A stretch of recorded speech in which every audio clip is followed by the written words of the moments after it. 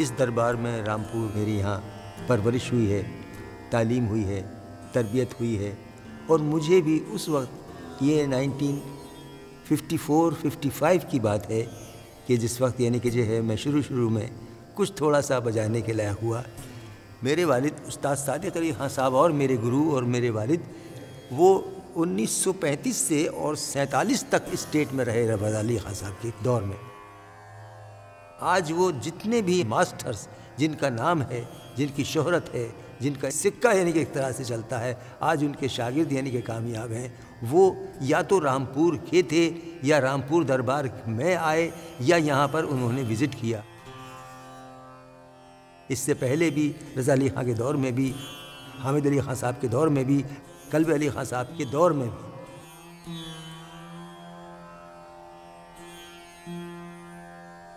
इस हॉल में आज देख के उन फनकार हजरात की यादें, उन नवाबीन हजरात की यादें, उस यानी कि जो ख़ानदान और फैमिली की यादें मुझे आ गई।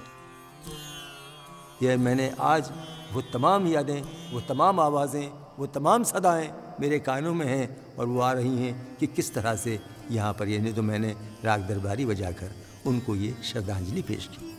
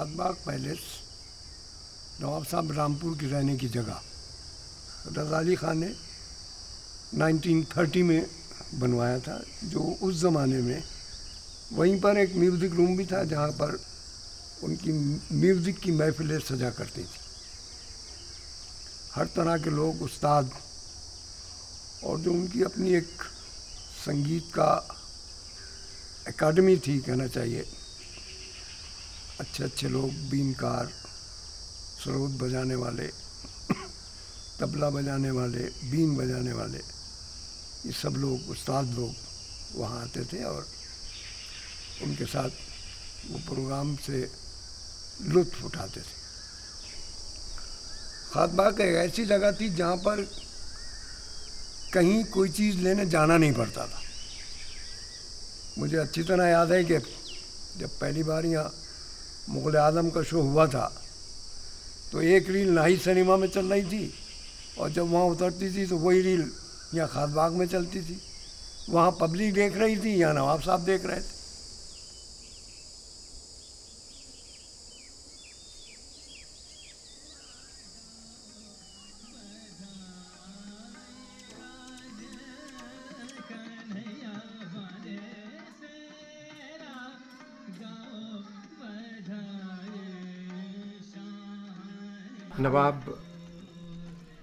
रज़ा अली ख़ान साहब मेरे मामू थे, मेरी माँ के भाई, बड़े भाई।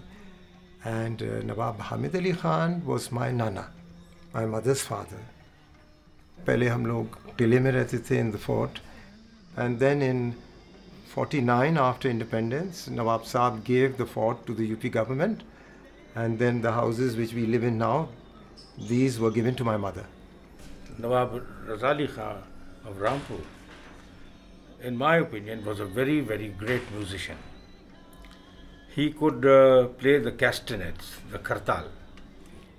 These musicians, they sang mostly in private sittings with just the Nawab, his relations, and some important guests, or otherwise at functions, like functions of like marriages, the marriages of his Nawab Saab's daughters or sons. Then Right. these musicians, these musicians were called upon to perform.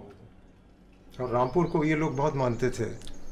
इस, इसी मारे जो बहुत बड़े थे वो थोड़े थोड़े अरसे के लिए शिक्षा के लिए आते थे।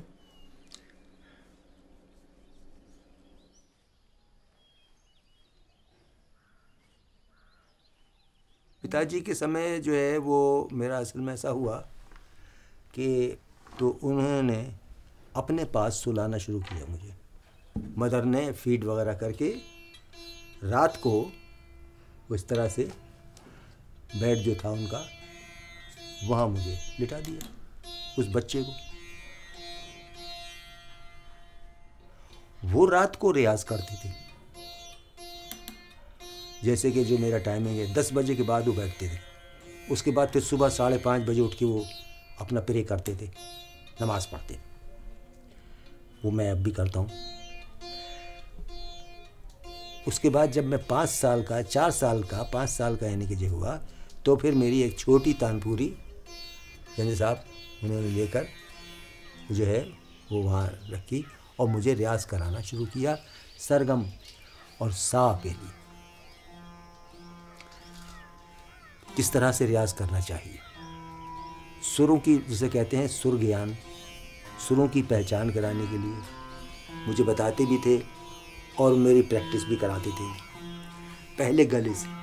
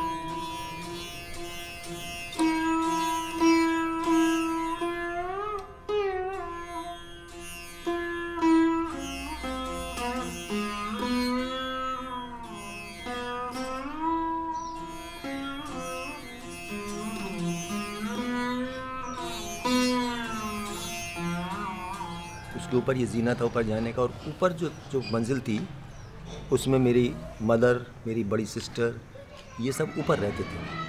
और नीचे ये जो है, ये पूरा सब मेरे फादर के पास था। गर्मी में वो यहाँ सोते थे। ये जो है, उनका जो है वो, जो बेड था, वो भी यानी कि बड़ा खसूस और स्पेशल एक बेड था जो कि निवाड़ वाला बना सूती निवाड़। कुछ हल्का सा अपने सफ़र और डिनर लेके फिर वो ज़रा सा लेट जाते थे, एक आधे घंटे के वास्ते। मैं रियाज ख़त्म करके फिर अपने ऊपर जाके मैंने खाना वाना खाया, जो भी किया। ग्यारह बजे उठ के फिर अपना वो रियाज करते थे। उसका साथ जो है, अब उनका यहीं पर यानी कि था उसी यानी कि और यहाँ यानी करते डेढ़ दो बजे तक। ने मेरे कहा था ये कि भाई तो हमारे शागिर्द अगर हो रहा हो तो एक बात तुम्हें करना पड़ेगी कि रात को, रात भर याद करेंगे मैंने कहा साहब रात भर करेंगे क- खाना नहीं खाओगे रात को, नहीं तो नींद आएगी, मैंने कहा, नहीं खाएँगे साहब। चाय ज़रूर पियेंगे कहते चाय पी ज़्यादा थे। तो चाय पीते थे साहब और रात रात भर सुबह को सुबह तक हाथ नहीं रुकता था फिर वो। तो अगर बहुत ही थक गए किसी वक्त ज़रा देर को ज़रा हो गई और फिर एक ज़रा कप चाय पी ली और उसके बाद फिर हो गए। मोहल्ले वाले भी खुश होते थे कि कम से कम चौकीदारी हो रही है मोहल्ले की। तुम्हारे तो तुम अपने सितार पर जा रहे हो तो कोई आ रहा कोई जा रहा कोई देख रहा कोई बाहर लिया कोई कर क्या करते हैं मेरे वालिद जो है 1962 में यहाँ से वो लखनऊ चले गए। हाँ लखनऊ लखनऊ चले गए थे 62 में और 64 में उनका वहीं इंतकाल हुआ। वो तो एक खसूसी तौर पर जो फ़न की जो बारीकियाँ हैं उसको बरतने पे कुदरत जो हासिल है वो ऐसे ही फ़नकारों को है। आम आदमी को नहीं होती। वो बुज़ुर्ग थे सब। रियासती ज़माने की तहजीब के परवरिश किए हुए थे वो सब। अब तो ये सब सियासत ने खुद परस बना दिया हर आदमी को।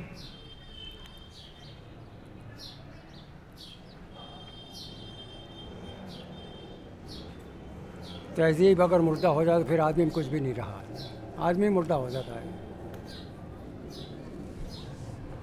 हम दोनों हामिद इंटर कॉलेज के स्टूडेंट हैं। तो उस टाइम पे सेवन क्लास तक हम दोनों आपस में एक ही क्लास में थे। क्लास थे हाँ। उसके बाद जब एट क्लास में हम आए तो सेक्शन चेंज हो गया हम दोनों का। इनका सी हो गया मेरा बी हो गया। उसके बाद फिर अलग अलग हो गए।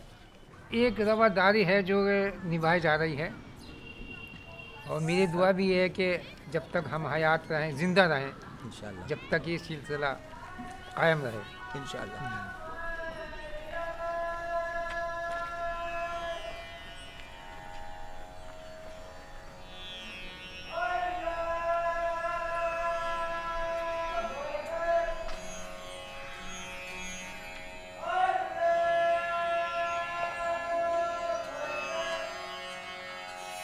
देखिए मैं मेरे वालिद मरहूम किस खूबसूरती से इन रागों को बजाया करते थे कि जैसे ने कि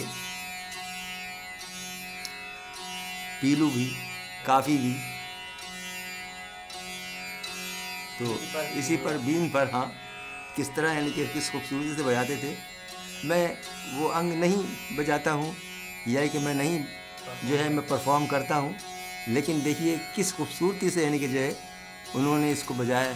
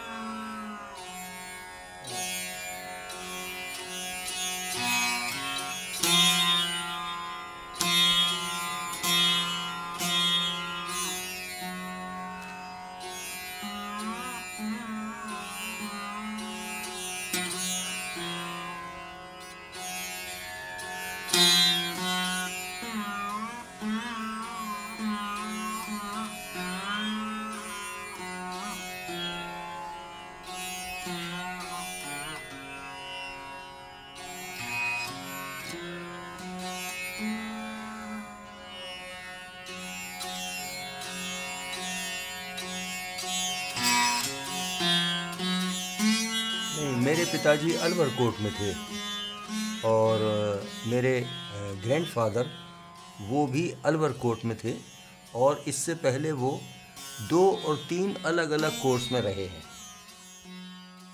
मेरी परंपरा जो है वो चली आ रही है ख़ास तौर पर रुद्रवीणा के लिए बीन के लिए, इसे बीन कहते हैं, इसका निक नेम है बीन। बंदी साहब, वो आ रही है शाहजी साहब से।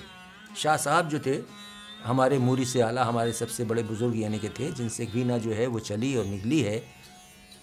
तो मैं वो ख़ास तौर से ग्यारहवीं पुश्त में जो है वो आता हूँ।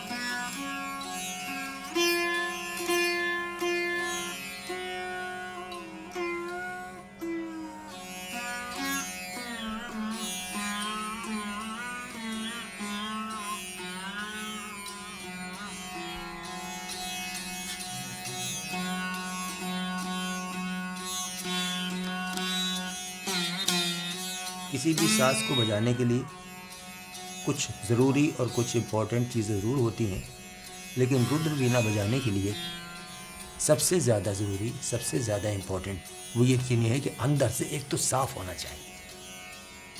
तो जितना अंदर से साफ़ हो गई आत्मा, उतना ही सच्चाई जो है इसमें झलकेगी। उन सुरों से नज़र आ जाएगा कि ये आदमी कितना यानी कि साफ़ है और कितना यानी कि सुरीला गुंजलक नहीं इसलिए एक नियम की ज़िंदगी गुजारने के लिए रुद्र वीणा बजाने के लिए एक साधना की भी ज़रूरत है और एक साधु की ज़िंदगी की भी ज़रूरत है।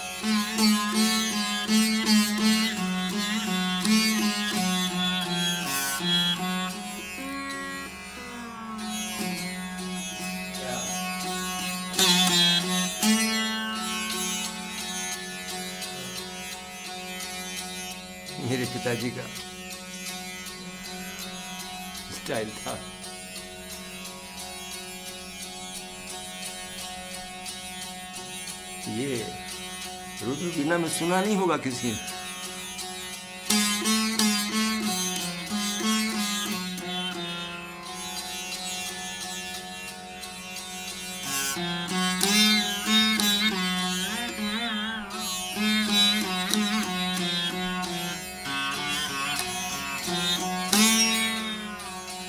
मेरे ज़माने में हालाँकि इतना मुश्किल नहीं था जो इस दौर में है, लेकिन उस वक्त भी कम से कम ये कई यानी कि मेरे बराबर के यानी कि जो आर्टिस्टों ने भी और भी दूसरे लोगों ने मेरे पिताजी से भी कहा, मुझसे भी कहा, भाई ये क्या साज लेके यार आ गए? ओहो, ये तो कोई सुनेगा या नहीं? सुनेगा अब इसका ज़माना ख़त्म हो गया।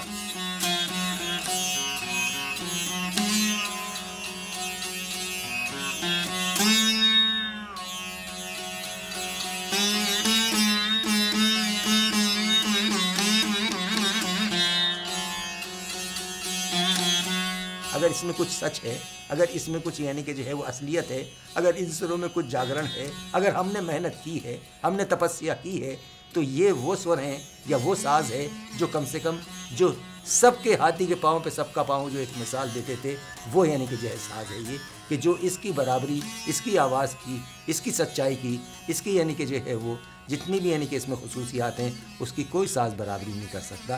तो इसलिए अगर इसमें अगर दुआ कबूल हो गई, ये उसमें उस मकाम पर पहुँच गए तो ये एक ही है।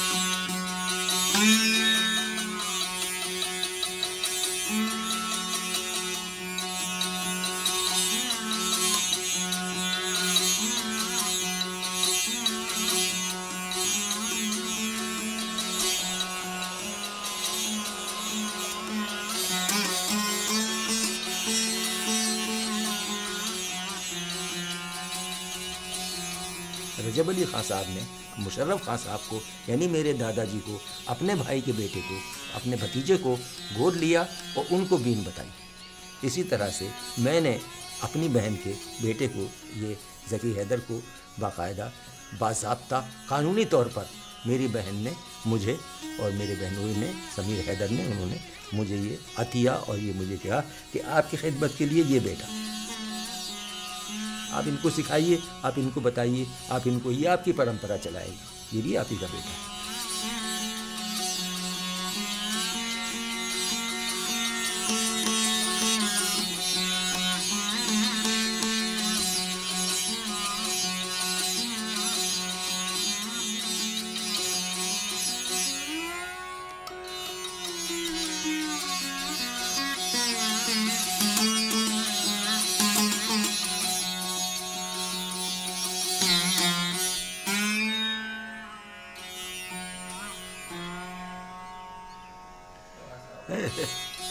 लुटा देते थे वो इस, इस पे।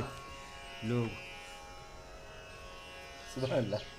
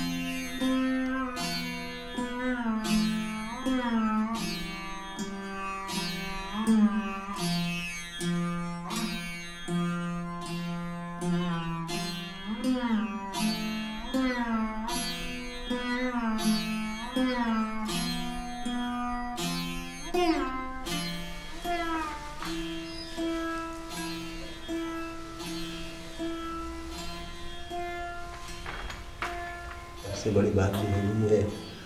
आज कम से कम सन उन्नीस सौ चौंसठ सिक्सटी फोर के बाद जी। इस घर में यानी कि बीन की आवाज़ आई। सिक्सटी फोर के बाद साहब? सिक्सटी फोर में जो है नाना जान का इंतकाल हो गया जी जी। यहाँ से सिक्सटी थ्री में ही चले गए थे।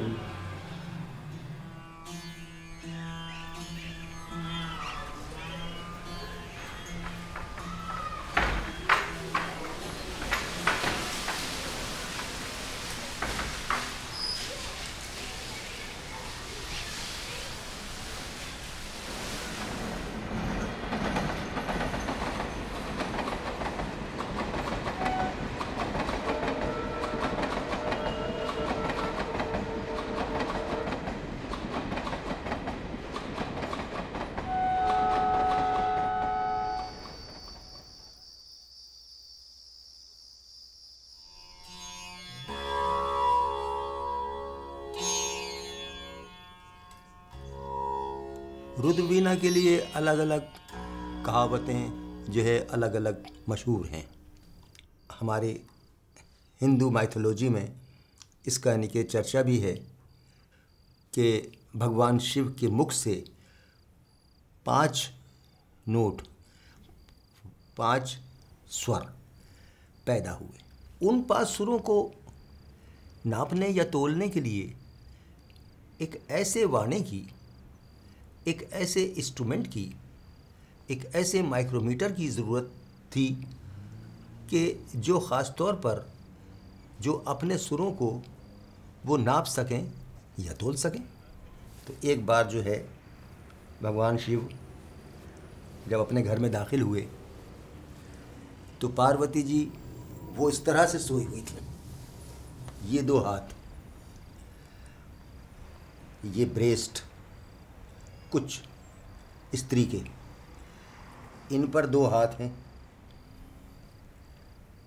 तो ये कुछ हुए। तो उन्होंने इसको कल्पना की, उन्होंने सोचा।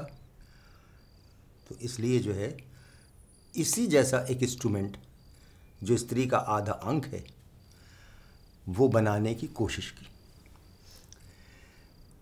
और उन्होंने फिर ये एक बम्बू का पीस उसमें यानी कि बैंगल्स पहनाए। एक ही साज रुद्र वीणा ये एक ऐसा है जो इंसान के ऊपर सवार होकर, राइडिंग करके मनुष्य पर होकर ये बजाई जाती है। इसलिए मैं अक्सर अपने स्टूडेंट से कहता हूँ कि ये एक ऐसा साज है कि जो पहना जाता है। इसलिए जब इसको बनवाने का ऑर्डर दिया जाता है मेकर को तो वो आपके जिस्म का नाप लेता है। उसके बाद वो तुम्बे आपके नाप के बनवाएगा या नहीं लाएगा, तलाश करेगा। भाई मैं दुल्ला पतला आदमी, इतने बड़े तुम अगर लगा दिए तो मैं खुद ही दब गया तो अब क्या करें? ये बजाएँगे कैसे? समझे साहब? ये आपने और एक मुश्किल पैदा कर ली, एक तो बजाने वाला ही नहीं मिलता कोई। और जो अगर बजाने के लिए आ गया तो उनका पहले बैठो ऐसे। तो मेरे कई ऐसे फॉरनर शागिर्द भाग चुके हैं। और यहाँ इंडियन भी। कि उस्ताद जी, ये ज़रा मुश्किल है, बैठा तो नहीं जाएगा हमसे। तो मैंने कहा, अगर आपसे बैठा नहीं जाएगा तो मुझसे बताया नहीं जाएगा। ये है वज्रासन। मैंने बनाया अपने ही पैरों पर, अपनी ही नी पर। मेरा पूरा वज़न है अपने ही पंजों पर। मैंने पीछे एक सीट बनाई हुई है।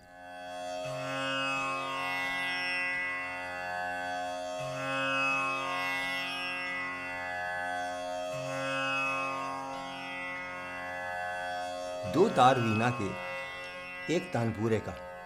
ये तीनों खरज में मिले हुए हैं, यानी सा में नीचे के, सिर्फ़ खरज बता। सा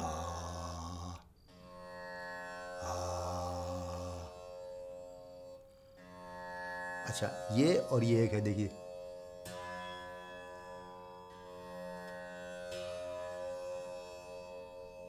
एक हुआ ना? अब जो दूसरा तार है, नंबर वन और टू ये भी खर्च है, ये भी मिला हुआ यहीं है। लेकिन ये परफेक्ट नहीं है। सुनिए।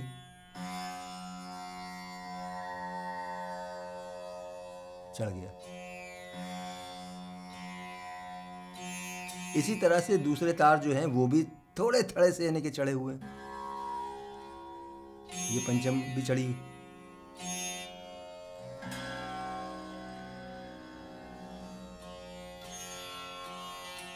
ये कहाँ परफेक्ट होगा आगे?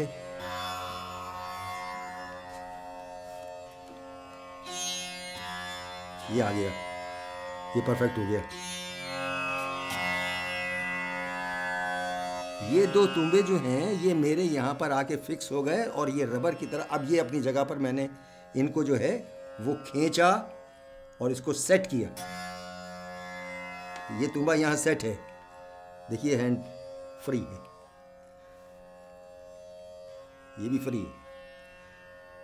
अगर ये यहाँ से निकल जाएगा तुम्बा मैं निकाल दूँगा यहाँ से तो वो फिर अपनी जगह बेसुरा होगा।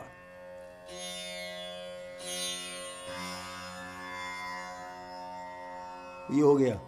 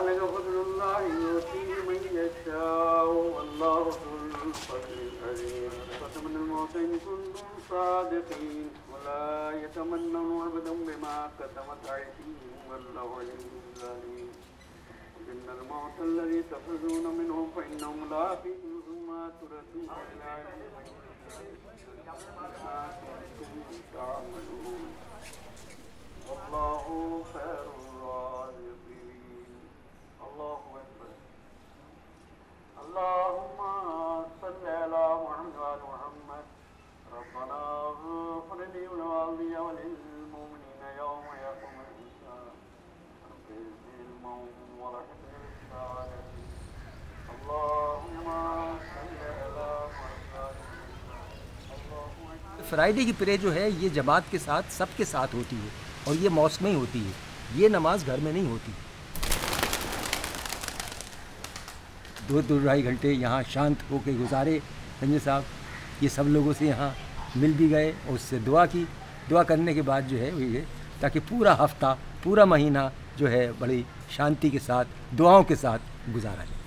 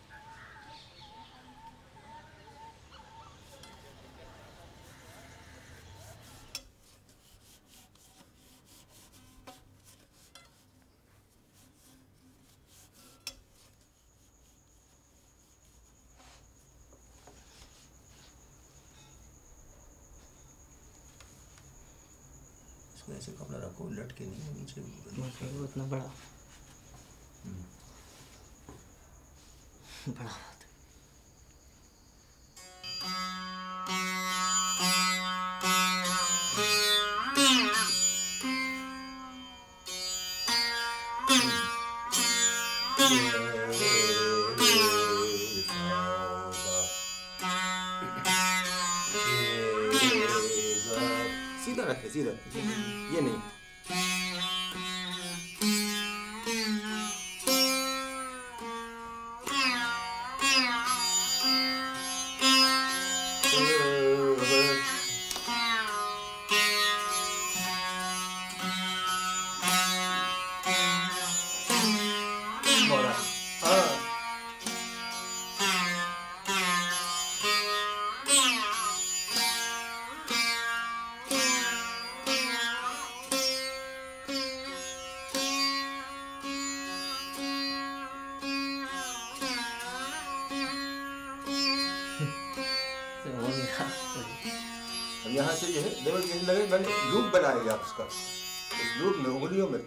जी। किस तरह से यानी खेल होगा वो? जी।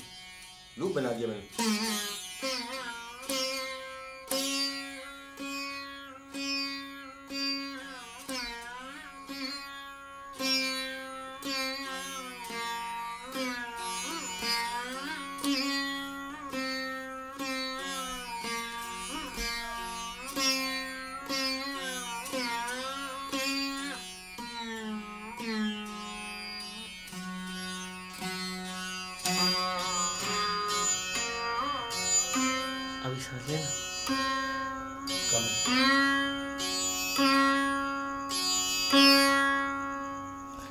सांस रुका हुआ। अब मैं ऐसे नहीं करूँगा, वो निकल गया वहाँ से। ये बड़ा। तो अब ये स्टोव पड़ा तो जब यहाँ से ये टॉप जो है इसमें बाहर है, बाकी ये इसका पर जो है नाखून के अंदर है, नेल के अंदर।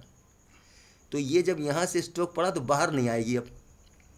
और यहाँ इतने यानी कि जॉइंट पर उंगली के ये इसके दो विंग्स जो हैं, ये फिक्स हो गए हैं मेरे आकर तो इसमें नाप होती है मेज़रमेंट इस तरह होती है कि ये पहला जोड़ जो है उंगली का, ये इसको कवर कर ले। ये देखिए।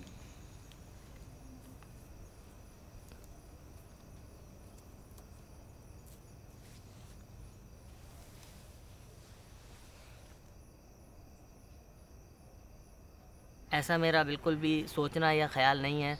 कि मैं उस स्तर पे बजाऊं या मेरा वैसा हो, ऐसा मेरा कुछ नहीं है। मेरा बस जो एम है, वो सिर्फ़ इतना है कि मैं थोड़ा बहुत तो प्राप्त कर सकूँ उस्ताद से।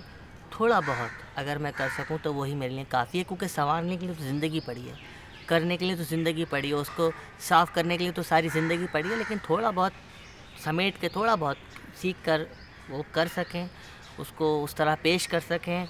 और बस तो यही हम समझेंगे कि हमने बहुत कुछ कर लिया।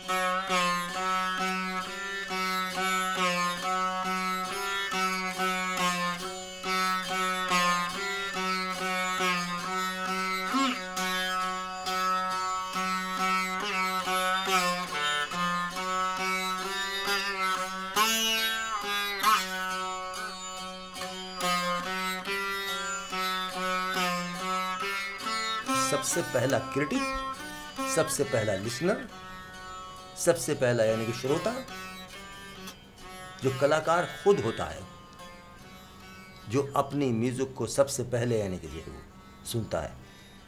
तो ख़ास तौर से इस तरह सा साज में, और ये साज तो बिल्कुल जिसम से, शरीर से जुड़ा हुआ है।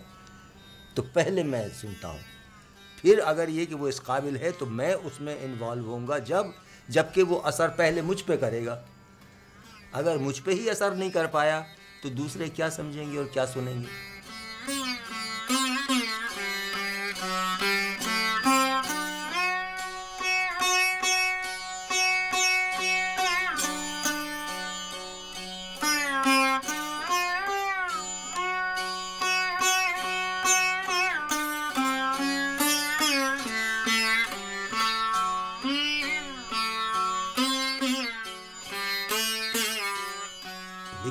इंसान है, मनुष्य है। कमी तो हमेशा रहेगी वो। लेकिन वही सबसे बड़ा कलाकार और सबसे बड़ा उस्ताद और सबसे बड़ा मास्टर वही है, जो अपनी कमियों पे नज़र रखे कि आज अगर ये मुझसे ये कमी हो गई, कल ना होनी चाहिए, इसलिए अपनी गलतियों को सुधार लेंगे।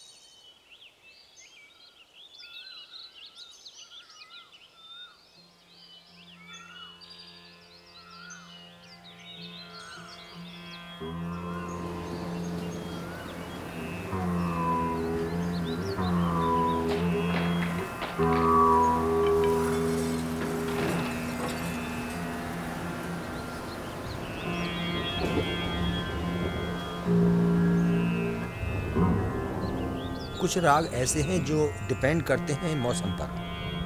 मिसाल के तौर पर जब वो बारिश होगी, बारिश का मौसम आएगा, अगर मैं मॉर्निंग में मियाँ की मल्हार बजाऊँ, कोई इसमें कोई बात नहीं, क्योंकि वो मौसम का राग है।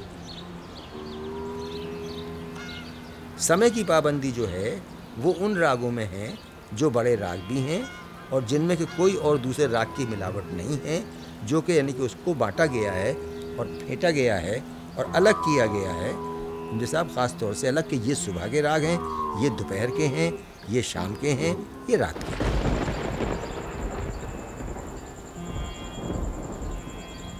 देखिए, ये रागों का समय जो रखा गया है, वो रखा गया है मनुष्य के मिजाज पर। जब वो सुबह उठता है, वो नोट्स जो है, वो रखे गए हैं कि इस बॉडी पर, इस शरीर पर जो है ये राग इस वक्त, इस समय का ये सुबह असर करेगा। तो ये है असल में, स्वर नहीं बदलते, बल्कि सूर्य परिक्रमा बदल रही है। कहाँ उसकी रोशनी तेज हो रही है, कहाँ उसकी रोशनी मध्यम हो रही है, कहाँ उस रोशनी कम हो रही है। तो पंचम है सूर्य तो जब पंचम के साथ ऋषभ लगेगी तो तेज हो जाएगी। जब कोमल मध्यम के साथ लगेगी तो उसका लाइट कम होगी। तो इसलिए सूर्य परिक्रमा के साथ जो है, वो यानी कि जो स्वरों का जो मिजाज रखा है जो सुरों के कंपोजिशन रखे हैं, जो सुरों के विवाह किया है, यानी रिश्ता किया है, उसमें यानी कि जो है, सुबह का, दोपहर का, शाम का जैसे जैसे सूरज जलता चला जाएगा, उसमें टाइम लिख लिखेगा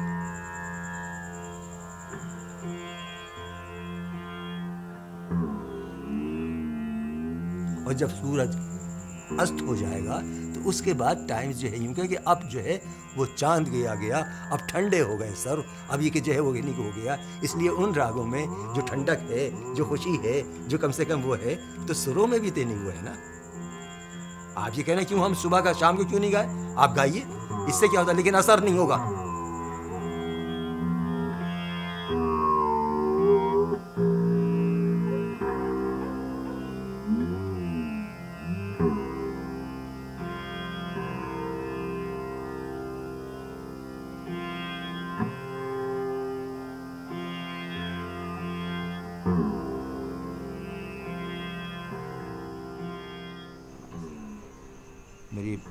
पैदाइश की तारीख है thirty seven forty seven fifty seven तो फिफ्टी सेवन में तो मैं बीस साल का हुआ ना? तो प्रोग्राम तो मेरा शुरू हो गया फिफ्टी फोर फिफ्टी नाइन से अट्ठारह उन्नीस साल की उम्र से। ये हुआ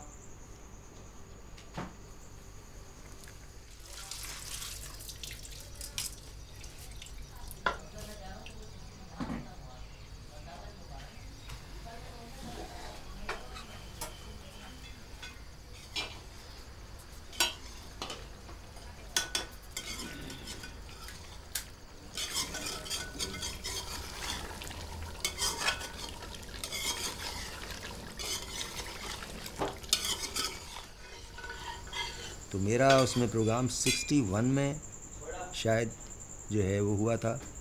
60 या 61 में मेरा यानी कि जो है, जिसे बहुत इम्पोर्टेंट और बड़ा प्रोग्राम और काफ़ी यानी कि बड़े जनता के बाद यानी कि जो है, बड़े उसमें जो वहाँ टेंट लगता है।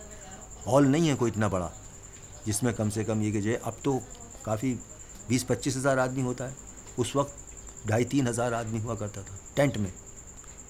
वहाँ उस प्रोग्राम में ऐसा होता है कि करीब करीब के लोग जो हैं, गाँव देहातों से लोग आ जाते हैं और वहीं आके सुनने लगते हैं।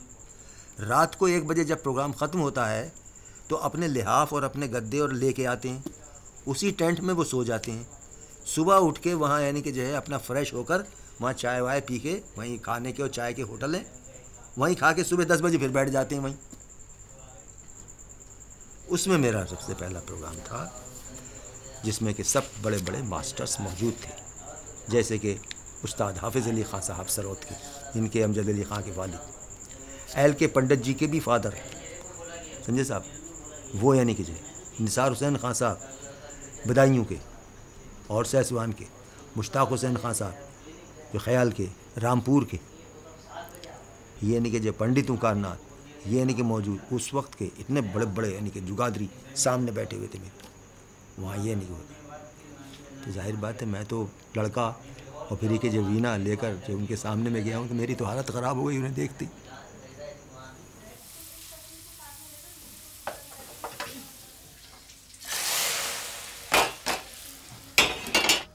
मुश्किल ये आ गई है कि पहले ज़माने में, आज से पचास साल पहले राजा महाराजा और नवाबीन साहब को, नवाब साहब को एक आदमी को खुश करना था। वो संगीत जाने या नहीं जाने जिनके पास थे। मास्टर्स, उनको सुनाना था। अब यहाँ जो हॉल में बैठे हुए हैं, हर आदमी नवाब है। और वो चाहता ये है कि आज हम समझ के भी जाएँ। सुन के नहीं, समझ के भी जाएँ कि ये क्या कर रहे हैं। इसलिए हमारी और परफॉर्मर की मुश्किलात बढ़ गई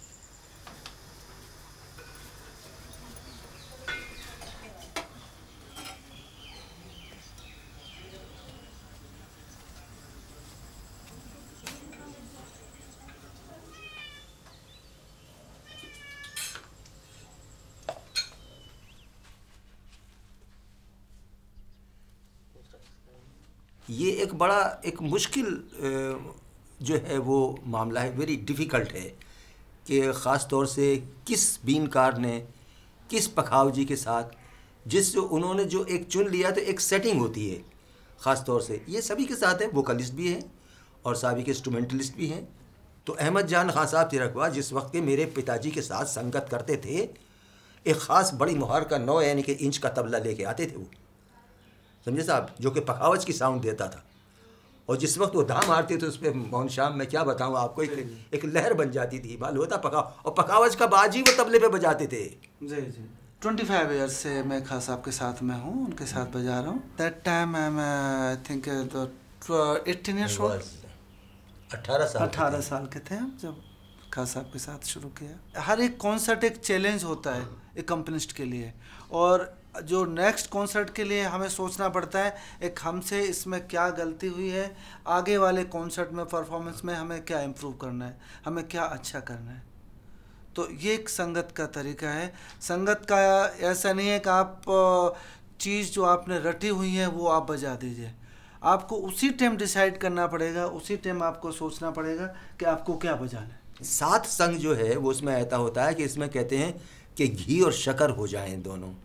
जब घी और शक्कर मिल के समझे साहब, वो यानी कि एक यानी कि जो है वो मीठा यानी कि बनता है तो इस तरह से यानी कि मालूम हो जाए किस तरह से।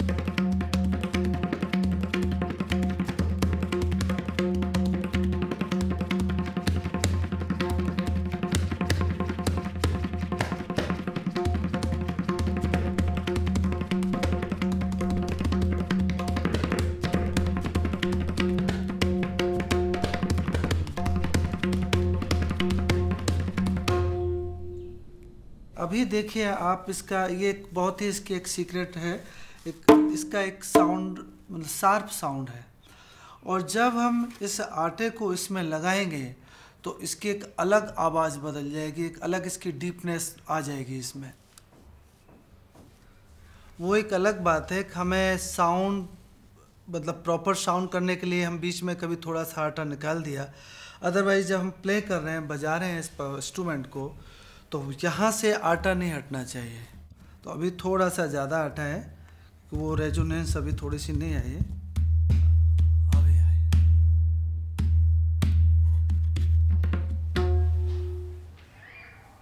हमारे गुरुजी ने जो सिखाए हैं I don't know maybe thousand thousand composition by heart वो सब सिखाए जाते हैं। अब तो लिखवाते भी हैं, जो बड़े कंपोजिशंस होते हैं, उनको लिखना होता है। तो पहले याद करना होता है बाई हार्ट फिर उसके बाद में फिर इसकी टेक्निक सीखी जाती है। एक how to play how to that part that का उसकी टेक्निक क्या है। अब जैसे धागे तेट धागे तेट, एक सिंपल परन है, इसको कैसे बजाते हैं? सो धागे तेट धागे तेट, ये पखावज की एक बहुत पुरानी परन बोले, बोलते हैं, इसको कंपोजिशन कहते हैं। सो धागे तेट धागे तेट, तागे तेट तागे तेट सो धागे तेट धागे तेट तागे तेट तागे तेट कृधा तेट धागे तेट गदी गेन नागे तेट कृधा तेट धागे तेट गदी गेन नागे तेट कतेट तागे न धागे तेट कता गदी गेन धा धा धा कतेट तागे धागे तेट कता गदी गेन धा धा धा कतेट तागे न धागे तेट कता गदी गेन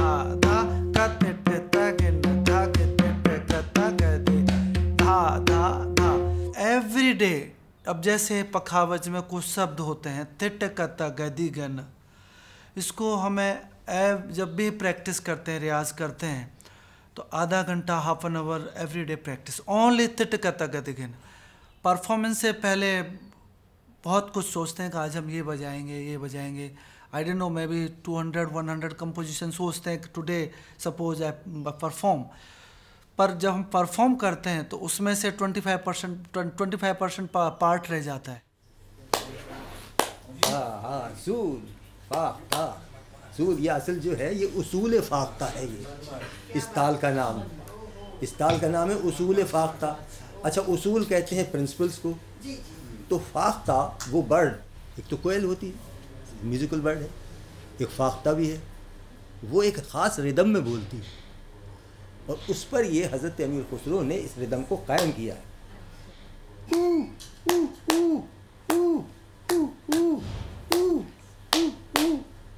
तो ये यानी कि जो है वो दस मात्रे हैं हालाँकि, लेकिन रिदम इसका जो है, वो उस आवाज़ पर, उस चाल पर है। तो ये है उसूल फाख्ता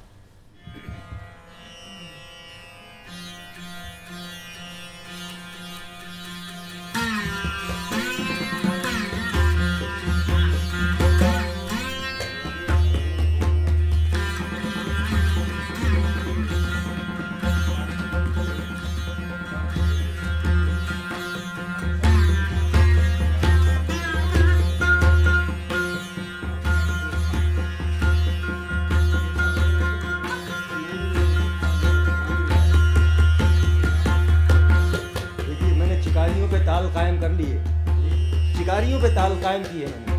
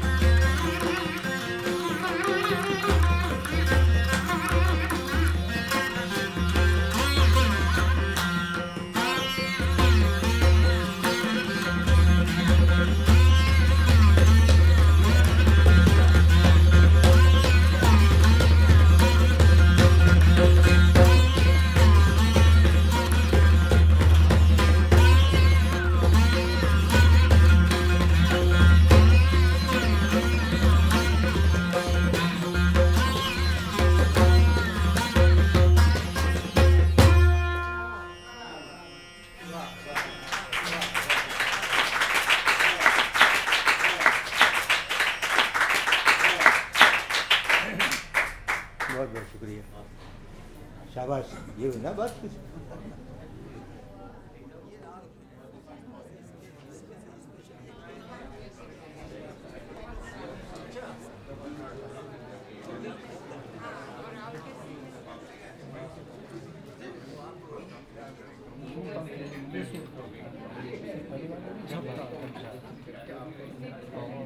आपको याद है, आपका पहला नेशनल प्रोग्राम हमने प्रोड्यूस किया था। स्टूडियो नंबर एक, दरबारी आपने बजाया था।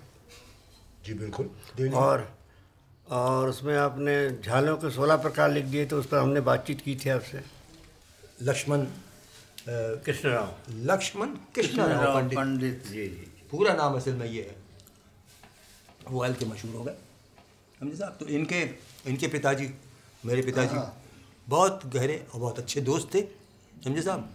जब भी वो यानी कि जो है वो जाते थे मेरे पिताजी ग्वालियर। एक बार वो रामपुर भी आए थे आपके पिताजी।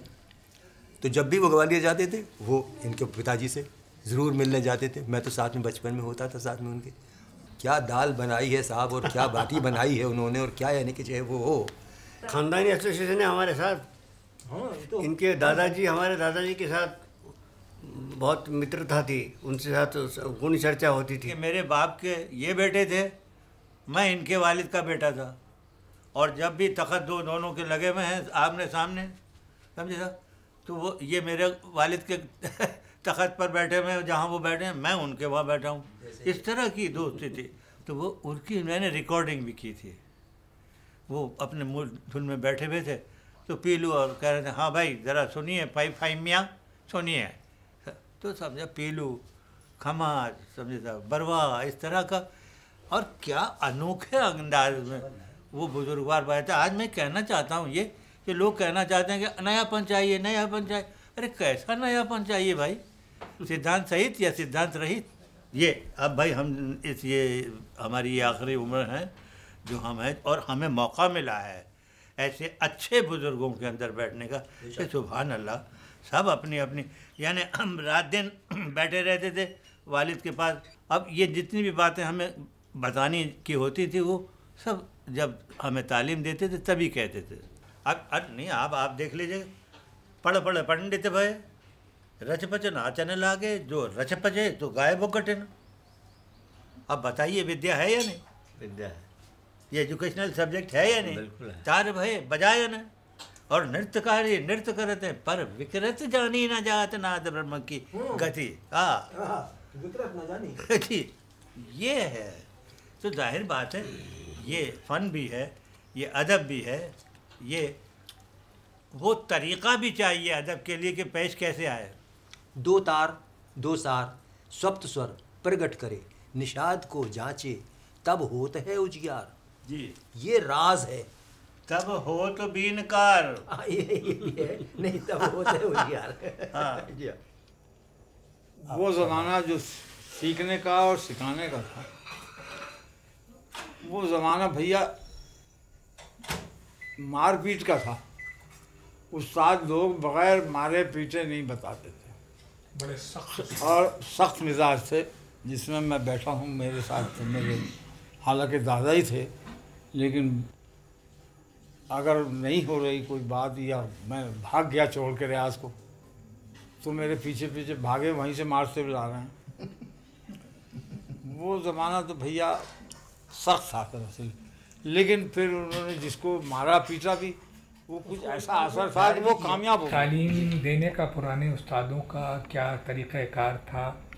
कैसा अंदाज था? क्या उसूल थे?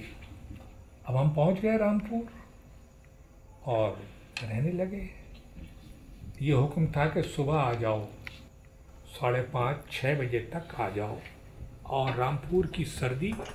अरे बाप रे वो नैनीताल की तराई में ये मालूम होता था कि बर्फ़। सर्दी होती है अब साहब वो अब हमें सिखाया हमारी उस्तानी ने या हमारी सास ने कि भाई ऐसे मत जाना।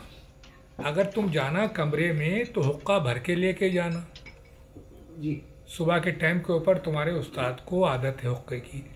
अब करने के बाद हम पैर दबाने बैठ गए उनकी। खैर दस पंद्रह मिनट पैर दबाए। तब फिर हुक्म होता था कि अब तंबूरा लेके बैठो सामने। और मुँह कोने में कर लो। हाँ करने के बाद। अब साहब वो सिखा रहे हैं और साहब हमारे ऊपर इतना रोआ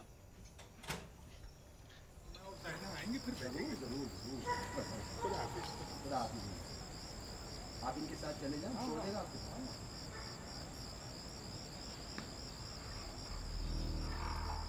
एक बेटा होने के नाते उसमें ज़िम्मेदारी हमारे कांधों पे डबल और सबसे ज़्यादा सुनने वालों की एक्सपेक्टेशंस बढ़ जाती हैं कि ये खान साहब के बेटे हैं।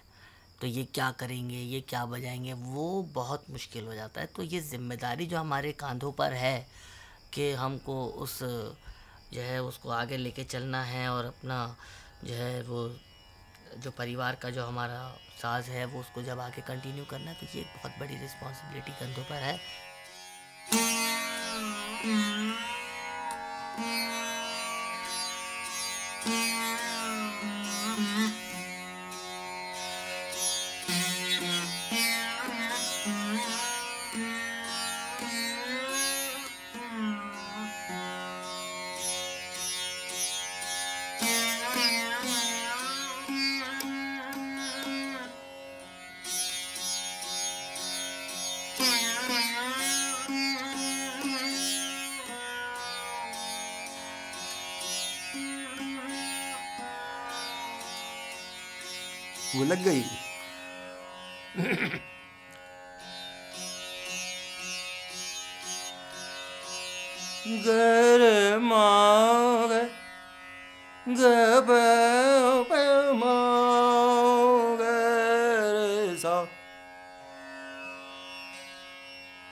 पीऊ पौलन लागे मोरी आगे आओ पीऊ।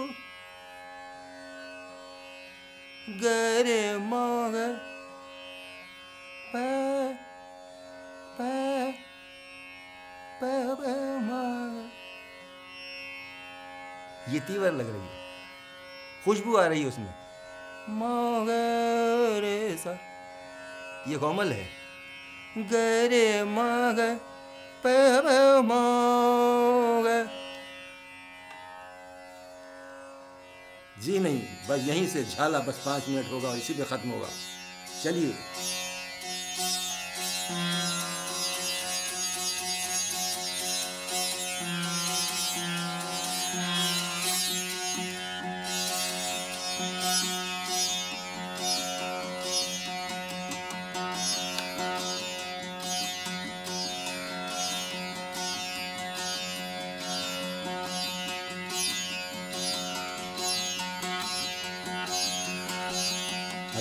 सास का कमाल क्या है?